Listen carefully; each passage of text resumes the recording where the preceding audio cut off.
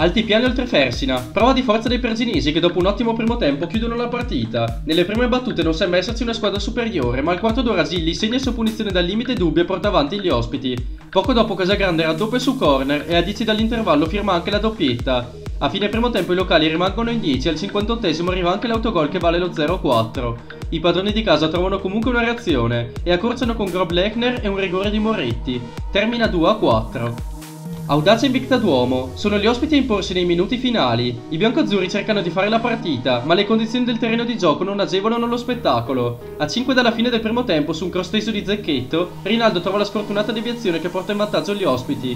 Nella seconda frazione l'Audace trova una bella reazione e su un errore della retaguardia pareggia con Battisti sfiorando anche il gol del vantaggio ma colpendo un palo.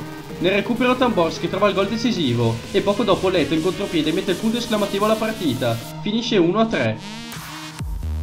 Calavino Calisio, una bella vittoria rimonta per i grigiorossi. Nella prima frazione sono gli ospiti che cercano di dettare i ritmi schiacciando i padroni di casa nella loro metà campo. A sorpresa però il Calavino a passare in vantaggio con Inda al trentesimo, grazie anche a una carambola fortunosa tra traverse e portiere. Nel secondo tempo però il Calisio riesce anche a essere cinico, e infatti Pedrotti rimette il risultato in parità al 54esimo.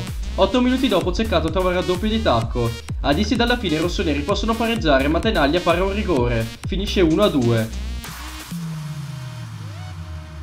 Ischia Tesino. Si impone nettamente la formazione di casa contro un Tesino anche rimaneggiato. La partita è a senso unico e l'Ischia non ha problemi nel gestire la palla e creare occasioni. Il vantaggio arriva al ventesimo con Gretter, complice anche un intervento non perfetto del portiere. Nelle riprese gialloneri mantengono il predominio e raddoppiano al 65esimo sfruttando una punizione calciata a sorpresa da Colazzo. A 12 dalla fine la difesa si fa sorprendere e Colazzo da fuori area beffa con un pallonetto Muraro. Bella prestazione dell'Ischia che vince 3-0.